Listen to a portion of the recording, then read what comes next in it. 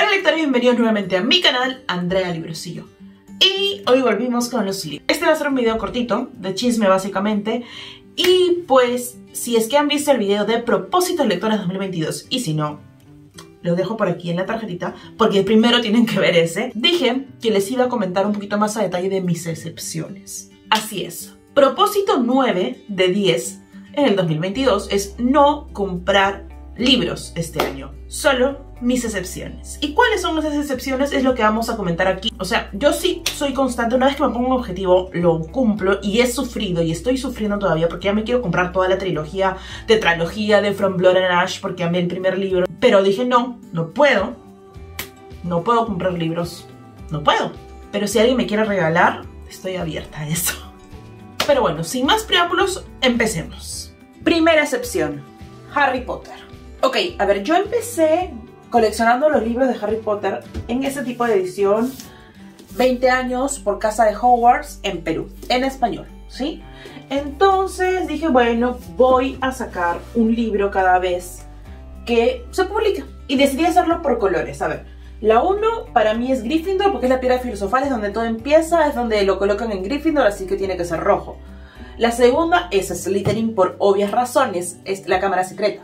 La tercera es Ravenclaw porque... Porque la cuarta tenía que ser Hufflepuff, básicamente. O sea, la tercera es Ravenclaw porque who knows, pero queda bien. La cuarta, obviamente, es Hufflepuff porque es el cáliz de fuego y es donde conocemos a Cedric Diggory y pues... Bien. La quinta, que es la Orden de Fénix, va a volver a ser roja, por obvias razones. La sexta, que es el Príncipe Mestizo, va a ser verde. Y la última va a ser Ravenclaw porque es de Deadly Hollows y la última es la corona de Rowena Ravenclaw, así que queda como Ravenclaw. Y todo iba perfecto con el plan hasta que nos mudamos a Inglaterra. Y cuando nos mudamos a Inglaterra dije, oh my god, no puedo tener ediciones en español de Harry Potter nada más. Tengo que tener ediciones en inglés porque pues fue creado aquí y sí, desde que estaba en Perú empecé a buscar cuáles eran las ediciones, encontré unas lindas tapaduras, pero al final me decanté por esta, porque desde que la vi me encantó, que los lomos armen Hogwarts me pareció genial. No sé por qué yo pensé que eran libros más grandes, pero me encanta que sean así chiquis. No los saco para que los vean porque ya tengo un video de book haul cuando presento estos libros, así que está por aquí, para que lo puedan ver. No pensé que era tan grueso, la verdad pero me encanta. y me gusta este amarillo. No me gusta esto porque no parece azul, parece morado, pero bueno. Este amarillo me gusta. En fin, verlos así me da paz mental. ¿Cuál es la excepción con Harry Potter? Estoy permitida de comprar libros para terminar esta colección. Es decir, puedo comprar La Orden del Fénix en esta edición, que se publica en abril. Y si es que El Misterio del Príncipe se publica también este año, también lo puedo comprar. Nada más. Eso es mi excepción. La Orden del Fénix en edición 20 años español. Segunda excepción, Sarah J. Maas. El año pasado descubrí a esta autora y la verdad es que solo fue un libro pero me encantó y me encanta todo el universo que hay atrás, toda la creación, el fandom que hay con sus libros y sé que tiene un montón de hate también pero no me importa.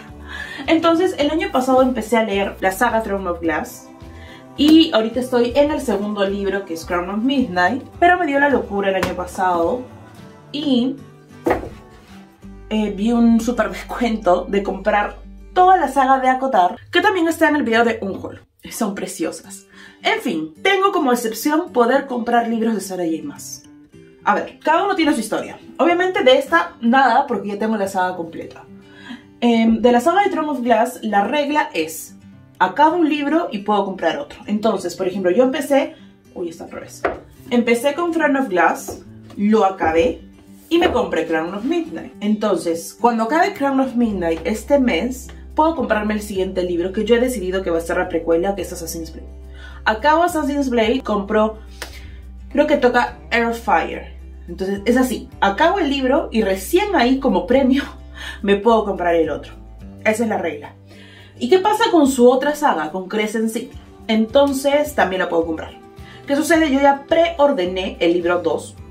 Acá lo pueden ver porque sí, es la edición exclusiva de Waterstone, tapadura perfecta, todo, con escena exclusiva, y esto debería llegar en un mes, en febrero, cuando se publica.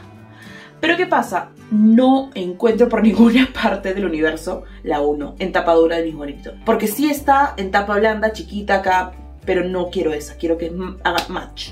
Estuve a punto de pagar una millonada de plata porque me lo manden. Pero dije, no, Andrea, tranquila. Tengo fe de que después de la publicación, un poquito antes, quizá un poquito después, del libro 2, como que hagan más tiraje del libro 1. Parece ser que eso está dentro de los shortage de libros que tenemos, o no sé. Pero espero que lo vuelvan a imprimir y me pueda comprar a un precio decente. Entonces, en conclusión, puedo comprar Crescent City, la saga Dragon of Glass libro por libro y básicamente pues todo lo que saque Sara y más está permitido este año. Tercera excepción, comprar libros de segunda. Y sí, acá cerca donde vivo y cerquísima a donde voy a mudarme pronto, paréntesis, me voy a mudar un mes, así que esperen videitos de eso también. Pero bueno, cerca de mi actual y futuro hogar hay tiendas que venden cositas de segunda y tienen libros de segunda mano súper baratos. Los libros pequeños, tapa blanda, están como un pound y los libros tapa dura un pound 50. 1.5 pounds son 8 soles. Para ser más exactos, 7 soles 90 o 2 dólares. No es nada.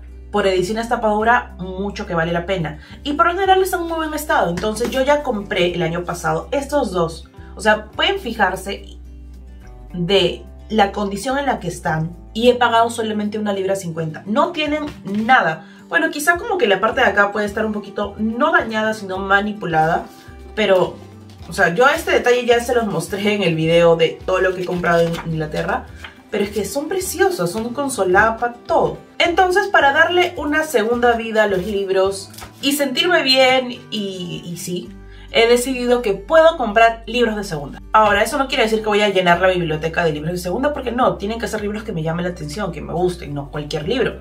Pero sí, esa es la tercera excepción. Puedo comprar libros de segunda y ya quiero ver qué me encuentro por ahí en esos lugares. Eso sí me parece súper chévere. Poder encontrar de la nada un libro que ya tenga historia y va un poquito en contra de los principios que yo tenía hasta el mismo año pasado, de que yo no compro libros de segunda, yo compro libros nuevos, que empiecen su historia conmigo. Pero no sé, todo cambia. Finalmente, cuarta excepción es, puedo comprar libros en fechas extraordinarias o fechas especiales. ¿Qué quiere decir esto? Me he permitido a mí misma comprar un libro en mi cumpleaños, que es el 12 de julio, y un libro en Navidad. Es como mi propio regalo, solamente ahí, y solo uno. No sé cuál, tendrá que ser en el mood del momento, pero sí. Un libro en mi cumpleaños y un libro en Navidad. Esa es la cuarta excepción. Reitero, si me quieren regalar libros, yo feliz. Me escriben, por favor, les paso mi dirección y me llegan. Y ya está. Y bueno, eso ha sido todo por este video. Espero que les haya gustado, que les haya sido entretenido. Ustedes también se ponen propósitos con una válvula de escape. Es que sí, yo tengo que ser consciente. No puedo decir que no voy a hacer algo al 100%. Tengo que tener un poquito. Es como ahora que estoy empezando a ser un poco más constante con el ejercicio. No puedo decir voy a hacer ejercicio todos los días. No, tengo que tener un día free, si no es mucho. Entonces es lo mismo y espero que se note lo del ejercicio, porque si ven el video de la semana pasada, que fue grabado en mayo, se nota la diferencia. Y aún falta, aún falta, sí se puede. Si les gustó el video denle like, los invito a ver los demás videos de mi canal, espero que les sean entretenidos, para mí lo son mucho. Cada mensaje, comentario, like, suscripción me motiva un montón. Nos vemos la próxima semana y sigamos leyendo. ¡Chao! you